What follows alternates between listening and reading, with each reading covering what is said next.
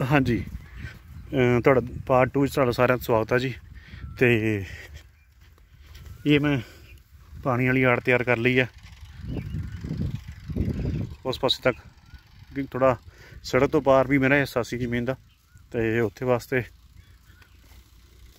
ਇਸ ਪਾਸੇ ਹਲਦੀ ਲੱਗੀ ਹੈ ਤਾਂ ਇੱਧਰ ਆਪਾਂ ਜਿਹੜੀ ਬਾਸਮਤੀ ਬੀਜਣੀ ਆ ਅੱਜ ਤਕਰੀਬਨ ਤਕਰੀਬਨ ਝੋਨੇ ਲਾਉਣ ਦੀ ਸਾਰੀ ਤਿਆਰੀ ਨੂੰ ਮੁਕੰਮਲ ਕਰ ਲਈਏ ਜੀ।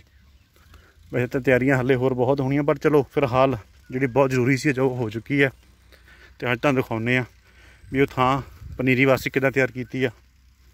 ਸੋ, ਇਹ ਹੈ ਜੀ ਥਾਂ ਆਪਣੀ। ਜਿਸ ਤਰ੍ਹਾਂ ਕਿ ਤੁਹਾਨੂੰ ਆਪਣੀ ਵੀਡੀਓ ਦੱਸਿਆ ਸੀਗਾ ਕਿ ਬੱਟ ਬੰਨਾ ਪੂਰਾ ਸਾਫ਼ ਹੋਣਾ ਚਾਹੀਦਾ ਆ। ਸੋ, ਇਸ ਕਰਕੇ ਥੋੜੀ ਪਲੈਨਿੰਗ ਚੇਂਜ ਕੀਤੀ ਮੈਂ। ਬਟ ਇਹ ਨਾ ਰੱਖਦੇ ਹੋਏ ਥੋੜਾ ਅਲੱਗ ਰੱਖ ਲਈ ਆ। ਤਾਂ ਹੁਣ ਜਿਹੜੀ ਆ ਵਿੱਚ ਆਪਣੀ ਪਨੀਰੀ ਵਾਸਤੇ ਥਾਂ ਜਿਹੜੀ ਤਿਆਰ ਕੀਤੀ ਆ, ਇਹਦੇ 'ਚ ਜਿਹੜਾ ਬਾਹਰਲਾ ਸੀਡ ਨਹੀਂ ਜਾਏਗਾ। ਤੇ ਇਹ ਕੋਈ ਥਾਂ ਹੈਗੀ ਆ ਝੋਨੇ ਵਾਸਤੇ, ਵੈਰਾਈਟੀ ਹੋਏਗੀ ਜੀ ਪੀਆਰ 121 ਉਹਦੇ ਬਿਲਕੁਲ ਨਾਲ ਹੀ ਥਾਂ ਜਿਹੜੀ ਆ, ਇਹ ਹੈਗੀ ਆ ਬਾਸਮਤੀ ਵਾਸਤੇ। ਇਹਦੇ ਵਿੱਚ ਦੋ ਵੈਰਾਈਟੀਆਂ ਲੰਘਣਗੀਆਂ, ਇੱਕ ਤਾਂ 1121 ਹੈਗੀ ਆ, ਦੂਸਰੀ ਹਾਲੇ ਸੋਚ ਵਿਚਾਰ ਚੱਲਦੀ ਪਈ ਹੈ ਕਿਹੜੀ ਵੈਰਾਈਟੀ ਲਾਈ ਜਾਵੇ ਦੂਜੀ ਹੋਰ। ਸੋ ਉਹਦੇ ਵਾਸਤੇ ਥਾਂ ਆ। ਥਾਂ ਘੱਟ ਵੱਧ ਅੱਗੇ ਗਾਂ ਕਰ ਸਕਦੇ ਆ ਜੇ ਘਟੇਗਾ ਤਾਂ ਥਾਂ ਹੋਰ ਥੋੜਾ ਕਰ ਲਾਂਗੇ। ਤੇ ਇਸ ਤਰੀਕੇ ਨਾਲ ਜਿਹੜਾ ਆ ਤਾਂ ਆਪਾਂ ਪਨੀਰੀ ਵਾਸਤੇ ਤਿਆਰ ਕਰ ਸਕਦੇ ਹਾਂ।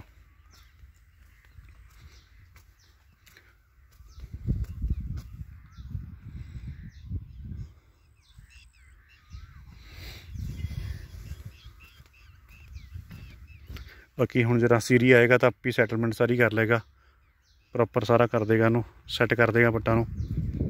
ਤੇ ਆੜ ਵੀ ਆਪਣੀ ਪੈ ਚੁੱਕੀ ਆ ਪਾਣੀ ਵਾਸਤੇ। ਤੇ ਡਰੇਨ ਸਿਸਟਮ ਵੀ ਜਰਾ ਸਾਰਾ ਪ੍ਰੋਪਰ ਸੈੱਟ ਕਰ ਦੇਗਾ। ਤੇ ਬਾਕੀ ਹੋਰ ਦੋ ਤਿੰਨ ਕੰਮ ਸੀਗੇ। ਬੱਟਾਂ ਪਾਉਣੀਆਂ ਸੀਗੀਆਂ, ਉਹ ਬਾਤੀਆਂ ਗਈਆਂ ਚਾਰੇ ਬੰਨੇ ਕਰਨਾ ਸੀ ਸੈੱਟ ਉਹ ਵੀ ਕਰ ਲਿਆ। ਤੇ ਇਹ ਕੀ ਕੀਤੀ ਗਈ ਆ। ਇਧਰਲੇ ਇਲਾਕੇ ਨੂੰ ਪਾਣੀ ਜਿਹੜਾ ਆ ਥੋੜਾ ਉੱਚਾ ਚੜਦਾ ਸੀਗਾ। ਇਹਨੂੰ ਲੱਗ ਕਰ ਦਿੱਤਾ ਗਿਆ, ਇਸ ਇਸ ਪਾਸੇ ਨੂੰ ਲੱਗ ਕਰ ਦਿੱਤਾ ਗਿਆ। ਬਲ ਇਸੇ ਤਰੀਕੇ ਨਾਲ ਬਾਕੀ ਸਾਰੇ ਪਾਸੇ ਵੀ ਜਿਹੜਾ ਸੈਟਿੰਗ ਕਰਨ ਵਾਲੀ ਸੀਗੀ, ਉਹ ਮੈਂ ਕਰ ਲਈ ਆ।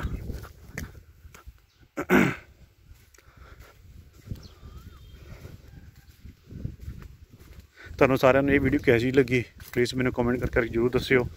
ਤੇ ਇਸ ਵੀਡੀਓ ਨੂੰ ਵੱਧ ਤੋਂ ਵੱਧ ਸ਼ੇਅਰ ਕਰਿਓ। Like share and comment please ਤੇ ਗਲਤੀ ਲਈ ਮਾਫੀ। ਜਿਹੜੇ ਨਵੇਂ ਬੰਦੇ ਮੇਰੇ ਵਾਂਗੂ ਜਿਹਨਾਂ ਚ ਪਹਿਲੀ ਵਾਰੀ ਦੂਜੀ ਦੂਜੀ ਵਾਰ ਝੋਨਾ ਲਾਉਣਾ ਆ ਉਹ ਇਸ ਇਸ ਤਰੀਕੇ ਨਾਲ ਜਿਹੜਾ ਆਪਣਾ ਉਹ ਤਿਆਰ ਕਰਾ ਸਕਦੇ ਆ। ਤੇ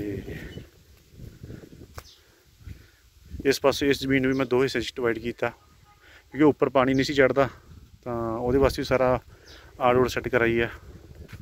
ਤੇ ਦੋ ਹਿੱਸੇ ਡਿਵਾਈਡ ਕਰ ਲਿਆ ਆ, ਤਾਂ ਪਾਣੀ ਲਾਉਣਾ ਸੌਖਾ ਰਹੇਗਾ। ਤੇ ਠੀਕ ਹੈ ਜੀ, ਮਿਲਦੇ ਆ ਨੈਕਸਟ ਵੀਡੀਓ ਵਿੱਚ। ਤੇ ਮੇਰੇ ਚੈਨਲ ਨੂੰ ਸਬਸਕ੍ਰਾਈਬ ਕਰਨਾ ਨਾ ਭੁੱਲਿਓ। ਤੇ ਕੋਈ ਕਮੈਂਟ ਹੋਵੇ ਕੁਝ ਪੁੱਛਣਾ ਹੋਵੇ ਤਾਂ ਜ਼ਰੂਰ ਮੈਨੂੰ ਪੁੱਛ ਸਕਦੇ ਹੋ ਕਮੈਂਟ ਸੈਕਸ਼ਨ 'ਚ ਤੁਸੀਂ ਆਪਣਾ ਮੈਸੇਜ ਪਾ ਦਿਓ। ਤੇ ਮੈਂ ਕੋਸ਼ਿਸ਼ ਕਰਾਂਗਾ ਜਲਦੀ ਜਲਦੀ ਤੁਹਾਨੂੰ ਅਪਲਾਈ ਕਰਾਂ ਮੈਂ। ਤੇ ਥੈਂਕ ਯੂ ਸੋ ਮਚ ਜੀ, ਮਿਲਦੇ ਆ ਨੈਕਸਟ ਵੀਡੀਓ 'ਚ।